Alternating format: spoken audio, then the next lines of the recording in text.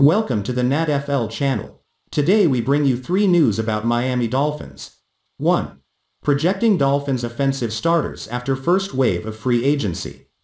2. What does Will Fuller's contract agreement with Dolphins look like? 3. Which Miami Dolphins WR is on hot seat after a Will Fuller signing? Now let's find out about news first. The Miami Dolphins haven't necessarily come out swinging with the same level of aggression that we saw from the team in 2020's free agency window, a stretch that saw the Dolphins set a high watermark for cash commitments in free agency. And while Miami took advantage of the talent influx and won 10 football games in 2020, such a model of team building is not a sustainable model of attacking a roster. Hence why we're seeing a more calculated approach from the Dolphins this offseason. But the results are still quite appealing. What will the Dolphins look like on the offensive side of the football? Here's what Miami's starters looked like at the end of the 2020 season. QB, Tua Tagovailoa. RB, Myles Gaskin. WR, DeVante Parker. WR, Preston Williams. WR, Albert Wilson, opt-out, Jakeem Grant. TAY, Mike Gesicki, LT. Austin Jackson, LG. Ereck Flowers, OC, Ted Karras, RG, Solomon Kindley, RT, Robert Hunt. With four rookies and significant injuries, losses to the wide receiver room, Miami closed the season undermanned and too inexperienced for the gravity of the moment in Week 17. But here's how things are shaping up for the Dolphins as things currently stand after the first few days of the 2021 league calendar year. QB, Tua Tagovailoa. RB, Myles Gaskin, WR, DeVante Parker, WR, Will Fuller, new, WR, Albert Wilson, returning, TAY, Mike Gesicki, LT, Austin Jackson, LG, Ereck Flowers, OC, Matt Skura, new, RG, Solomon Kindley, RT, Robert Hunt, a returning starter in Albert Wilson, or Preston Williams, plus an extremely dynamic player in Will Fuller and a more experienced starter at center, 51 career starts versus 36 for Karras, in Matt Skura are the immediate changes. But the current projection doesn't include Miami's addition of 2020 first-round tackle Isaiah Wilson, either. If, and that's a huge if, Miami can get Wilson motivated and focused, he could challenge for time at right tackle and potentially move Robert Hunt inside to guard.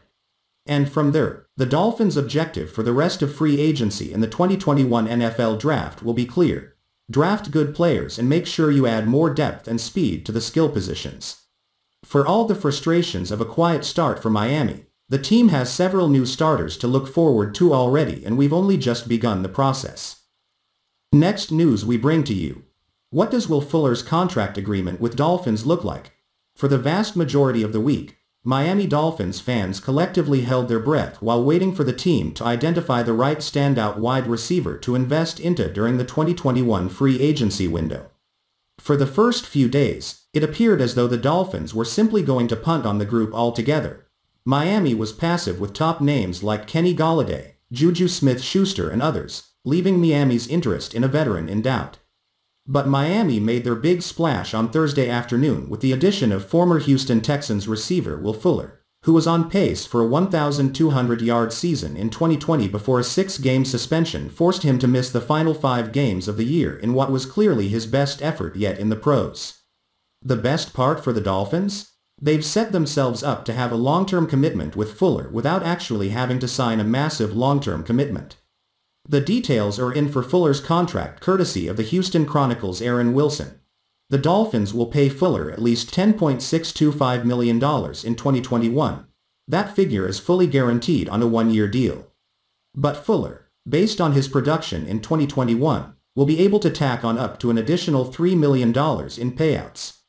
And, if all goes well, the Dolphins will get the first crack at negotiating a longer-term deal with Fuller once the NFL sees the salary cap begin to balloon once again.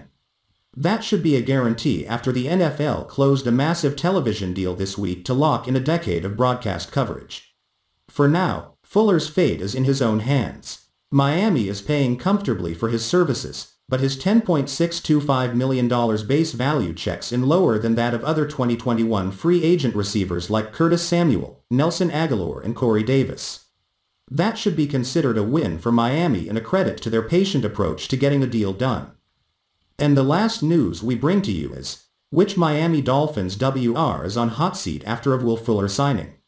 With the addition of Will Fuller to the Dolphins wide receiver room still fresh, there will sure to be plenty of fallout with his presence in 2021.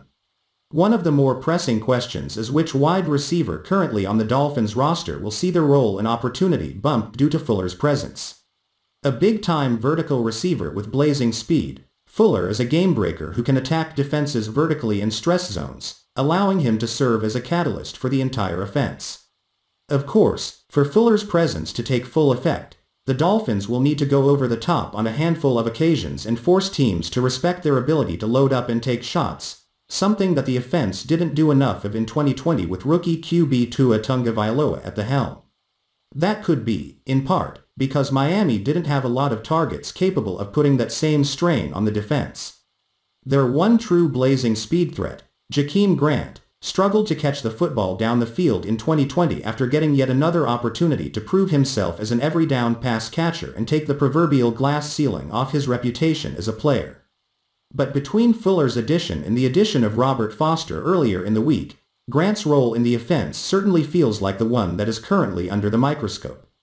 Grant had one brutal misplay on a deep shot against Cincinnati last season and had several mistimed efforts against the Broncos early in a midseason loss in Denver. Add in a misplayed adjustment on a deep shot against the Chiefs that resulted in an interception before the end of the half, a play that helped Miami's then 10-7 lead unravel quickly, and Grant's deep work resume left plenty of chunk plays and opportunities on the field last season. Chemistry will need to be developed but Fuller is a much more proven player in this respect. And with Fuller's cost against the 2021 salary cap, Miami is going to presumably need to make a handful of moves to shuffle the deck and ensure they can remain cap compliant in time for the 2021 NFL Draft.